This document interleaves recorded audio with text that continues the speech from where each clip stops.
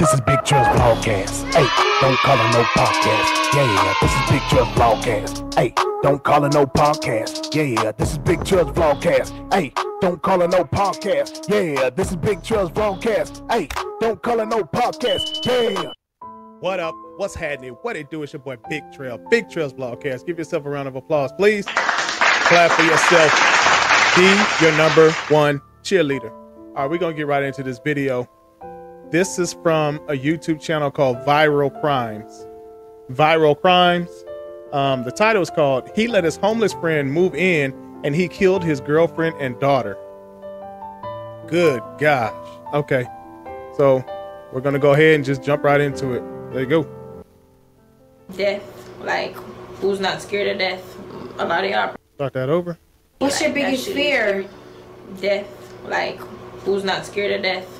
A lot of y'all are probably not scared of death, but I'm scared as fuck to die. Cause like, worse, I have a kid. Like, nobody gonna love her like me. Nobody gonna look out for her like me. So. We lose a child and a grandchild. Come on, she's a baby.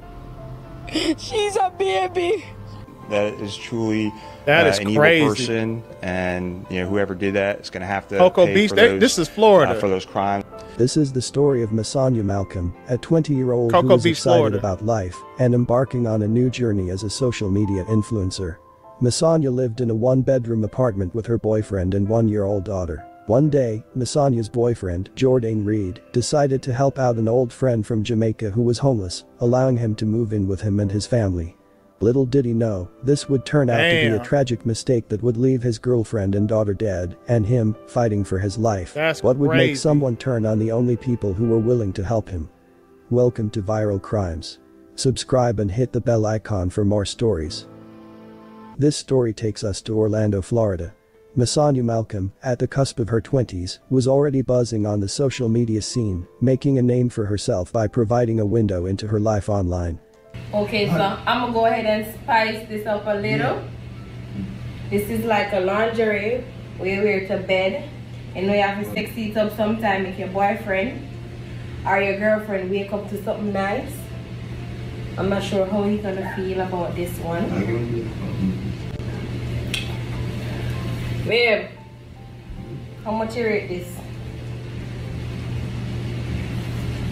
Darn it. Third two. Right on. You don't like it? That's fine, I think. You don't like it at all? Yeah, I'm here, man. But I'm here on here for that. Or eight? She would upload videos about her relationship, share her latest shopping finds, share her childbirth experience, and film the routine happenings that made up her day. Her boyfriend made This story is already sad. Like, she died and her and her daughter died. Like the kid. What did the kid have to do? The kid has no threat to you. The, there's no excuse. There's no excuse to kill anybody for no reason, you know, unless self defense. But there's no excuse. There's absolutely no excuse to kill a kill a baby. Like, what are you thinking? And made frequent appearances, and subscribers got to witness the love the couple had for one another. I'm gonna be doing a prank on Sinner. He's currently outright well. I was here bored, and my girlfriend gave me the idea to prank him that I'm pregnant. Pregnancy testing from the previous pregnancy with Carly. I have three of them. I'm just gonna lay them out. So when he walk in, he gonna look at it and be like, oh, "I want this be about." I think he gonna be like, "I want prank you doing our. Let me see your phone." Come here. Top front. Everything will go over there. Top front. Fuck, yeah. No, I can't.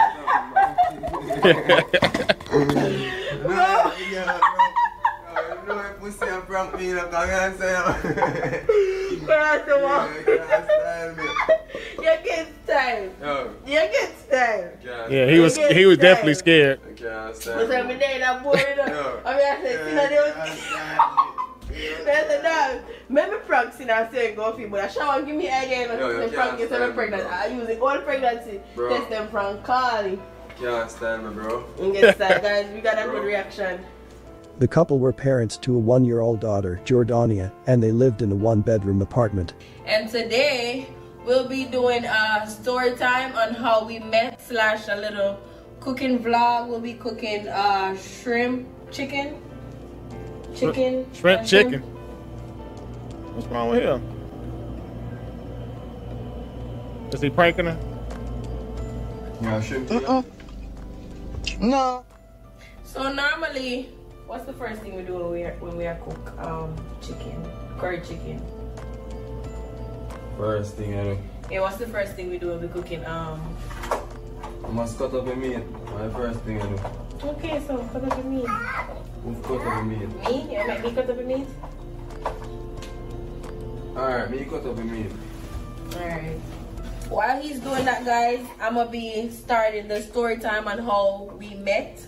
One day, Masanya's boyfriend got a message on social media from a man named Dujon Griffiths. This was an old friend from his school days back in Jamaica. The two reconnected and Dujon came to the United States on a visitor's visa and started living with Jordan, his girlfriend, and their one-year-old daughter. Masanya's mom, Latoya, raised an eyebrow at this unexpected house guest. Uh, She didn't hold back and questioned her daughter's boyfriend about the decision to bring another guy into their limited living space, with a baby to think about too. His response was that he knows yeah. He he figured this is his boy. Uh, I know they were in a one bedroom apartment, but he figured he was like, man, this is my boy. I got I got to help him out. I'm sure that's his his mind state. It's what it feels like to be homeless, so he's gonna help him. But as time ticked on, But sometimes you gotta think about your family too. You gotta think, man, ain't no room, ain't no room. I got a baby in here. Um, I don't know if how long you you haven't seen him, but people change, and you know, are you comfortable with him around your baby? On, Dujon's presence in the home began to stir up some tension. Masanya's patience had worn thin because Dujon wasn't pitching in financially with the rent or bills during his time with them. Yeah, He wasn't contributing at all to the household. She felt it was time for him to go, so her boyfriend decided to take matters into his own hands, offering to drop Dujon off at a Greyhound bus station and even purchasing his ticket for him. Masanya, with their baby sitting in her lap, took the seat beside her boyfriend as they started their journey. However, in a terrifying turn of events, Dujon, seated behind them, opened fire on the father as he was about to drive away from their parking spot outside their apartment at Lake Heritage Circle. That is Anakin ensued when the father, in an instinctive bid for survival, abandoned the vehicle, only to be chased by a relentless Dujon who kept firing shots. The aftermath was grim and shocking. that's crazy. Startled by the boyfriend's cries for help, a neighbor quickly dialed 911. The deputies from Orange County who arrived on the scene found Reed, injured and hidden behind some shrubbery, suffering from numerous gunshot wounds. The first thing he said to deputies is my friend shot me. Despite his serious injuries, the boyfriend tried desperately to tell the deputies about the terrifying events that had unfolded, but found himself physically unable to speak further. On the 9th of September, after the boyfriend had been through surgery, he was finally able to scribble out the name of the assailant and gave a significant nod when investigators inquired whether Masanya had been a victim of the shooting as well. Wow. With the confirmation that Masanya was nowhere to be found in her residence, the investigation took an oh, interesting dang. turn.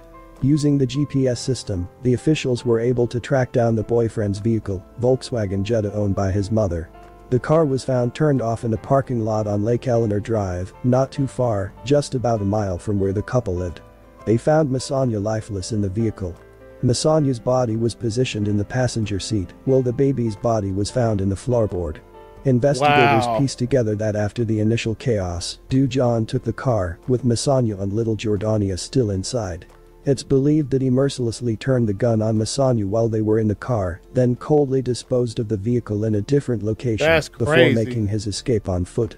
He left behind a harrowing scene. Masanya's lifeless body and the baby, abandoned. The autopsy later confirmed the worst fears.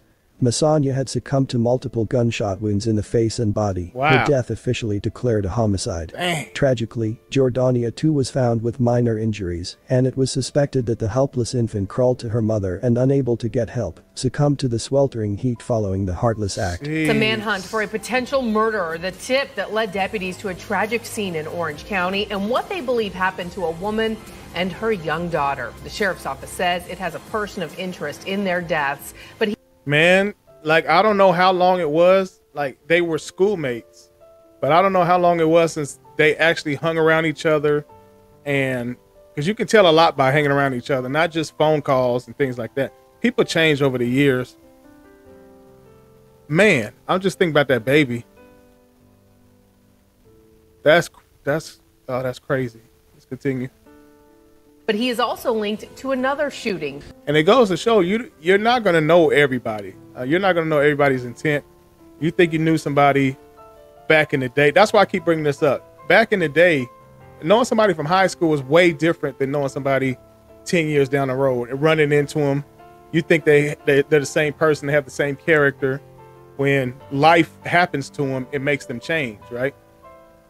And uh, okay, I know I'm I'm kind of I don't want to confuse anybody.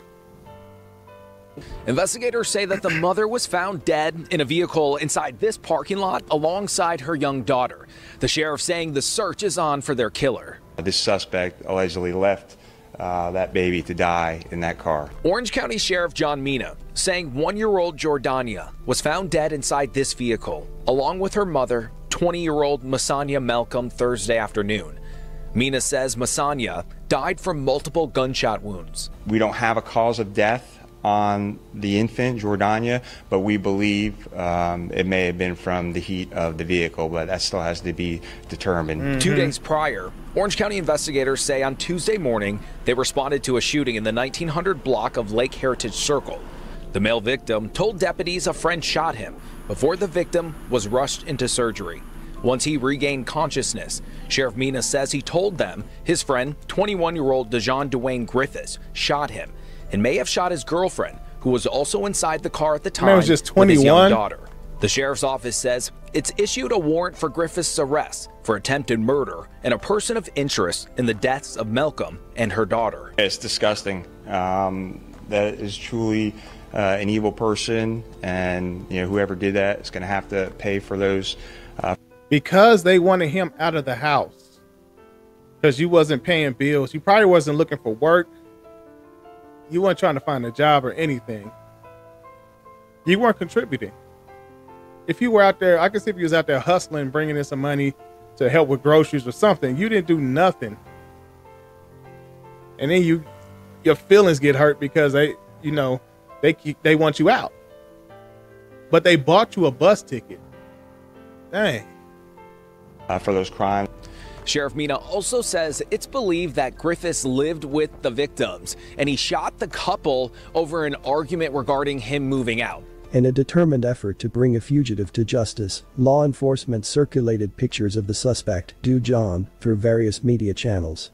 They hoped that public vigilance could aid in pinpointing his location. However, as time marched on, two long years slipped by without a single lead. Man. During this time, arrest warrants for Dujon were out in the open, signaling a nationwide manhunt. As deputies searched for Dujon Griffiths, Latoya mourned the death of her daughter, Yeah. Masanya Malcolm, and her one-year-old granddaughter. I came here because I wanted a better life. I didn't come here to bury my kids. I didn't, she said. Masanya's mother Latoya was devastated at the news of her daughter's passing. Her daughter and granddaughter were her best friends. Look who showed up at my doorstep. Look who surprised me. I'm so happy. I'm so happy. You meet your mommy? You meet your mommy? She just come and call lie up for me. Oh God. you miss your mommy? Do, do, do. Come on, your turn. La, la, la, la, la, la, la, la, la, la, la, la. Oh. Your turn. Whoa. Man. Me couldn't wait for your laugh to come. Oh Latoya described the harrowing last moments of her granddaughter with a heavy heart. She crawled on her mom and was there till she passed. She tried to wake her mom up, she said. They left her in the car for so many days. She said. Her voice a raw mixture of grief and disbelief. For years the case went unsolved. Even Did they say how many days it was in between the shooting and them finding the car? Uh, I think I might have missed that. Comment down below for me if you if you heard that or did they say it at all? Even though officials offered rewards for information about Dujon and said they received many tips about his whereabouts, they were never able to track him down. Then after two years, investigators finally got a break in the case when a routine traffic stop by police officers in Linden, New Jersey, evolved into a significant arrest. Mm. Dujon, the man responsible for the murder of Masanya, the attempted murder of her boyfriend, and the death of their one-year-old daughter, was apprehended on the strength of those murder warrants that had hung in the air for so long, Damn. closing a critical chapter in this lengthy investigation. He was extradited to Orange County to finally face justice for the September 2021 deaths of Masanya and Jordania. Dujon Griffith stood before an Orange County judge this morning. In 2021 CF 12327, you've been arrested on a warrant for the charge of first degree premeditated murder. The judge said Griffiths would stay behind bars for now. In this case, I am going to stay bond at none. The families of the victims in this case have been waiting more than two years for justice and now may be a step closer to getting it. Latoya Reed is the mother and grandmother of two of the victims, Masanya Malcolm and her daughter Jordania. I have nothing to say to Dujon Dwayne Griffiths. I'm not in the place where I f- have forgiven Dujon. I'm still in the grieving process yeah. as we speak. I'm still angry. I was robbed. I was robbed by somebody I thought was a friend. No matter hmm. how many years have passed, we never forget our victims, and we hope this Never. arrest brings some sense of peace and closure to our community and the two families shattered by this horribly tragic case, said the Orange County Sheriff's Office. Masanya's mother was relieved to know that her daughter and granddaughter's killer was finally arrested. Family, friends, and supporters and well wishers. Today, March 22nd, 2024, Wow. I'm coming live to let you know that That was well over two years. the police has incarcer- incarcerated Dujon Dwayne Griffiths. Dujon Dwayne Griffiths is in custody. Me hold Dujan. Me hold Dujan. Mm. That's man, that's Me sad. hold Dujan. Me hold Dujan. Me hold Dujan. Me hold Dujan. The heartbreaking events that unfolded for Masanya Malcolm, her boyfriend, and their young daughter should have never happened. Their lives were abruptly taken by someone they had opened their home to, a gesture of kindness that was met with the most severe betrayal. And the the father of the the kid, the boyfriend, he's gonna be. I know he's beating himself up, man. Like we haven't seen anything after this. I don't know. Is is he able to speak? Is he able to walk? Like what what's going on with him? Because they said, um, they said the news reporter said that this person may have lived with them, but if the boyfriend was able to speak, he would have told him that, right? So I don't, I don't know if he's able to speak or, or what's going on with him, but there was no update on him, at least thus far. Their tragic story brings to the forefront the caution we must exercise when opening our doors to others. While the instinct to aid a friend in need is Yeah. a noble one, it's a grim reality that people change over time. The friend from school days may not be the same person Exactly. today. Life's trials and the paths chosen can alter individuals in unforeseen ways. So, as we reach That's out with a helping saying. hand, it becomes essential to take steps to safeguard our personal spaces and those we love. Masanya's boyfriend did what many would admire, he offered a helping hand to someone who appeared to be in a desperate situation. The couple's actions were led by compassion, a testament to their character and humanity. For that, they should be remembered with respect. The sole bearer of blame for this tragedy is Dujon, whose actions were unjustifiable Mm. and who exploited the goodwill extended to him. Masanya's mother and boyfriend are attempting to heal together, and each year they celebrate the heavenly birthdays of their lost loved ones. Happy heavenly birthday, Carla Shay. We love you and we miss you so much. Ah. In our condolences, we honor the memory of Masanya and her family, reflecting on their kindness and mourning the lives Cute lost to an too. unspeakable act. May their story serve as a reminder of both the endless capacity for human kindness and the need for careful consideration of those we choose to reintegrate into our personal lives. Thanks for watching and I will see you in the next video. Oh man. That's it's crazy. Whenever I see kids in these videos, I I say it in all my videos. I think of my grandkids, I think of my young nieces and nephews the story is tragic because you try to help a friend, and this just goes to show that um, you you may know somebody at one point you know them, but if somebody if you're trying to help somebody and they're really down and out, if they if they have it that bad, just think about it like this. Uh, if they have it that bad to where they were homeless they were fighting for survival. They were doing this. They were doing doing whatever they needed to to survive, doing what was necessary. They're probably going to do that when they get into your house. They're probably going to have that same mentality. You know, stuff might come up missing. A couple of dollars you had on your counter might come up missing. Things like that.